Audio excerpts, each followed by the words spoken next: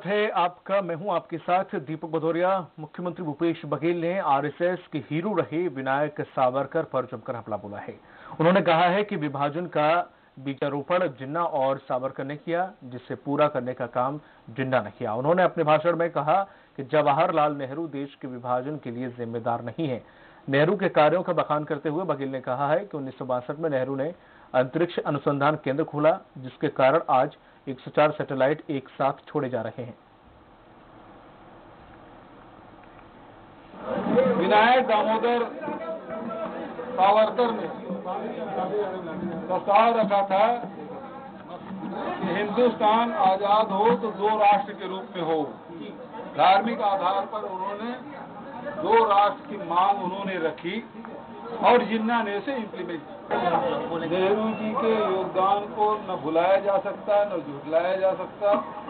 उन्होंने जो भारत की नींव रखी है, उसी पे आज देश खड़ा हुआ है। देश के पहले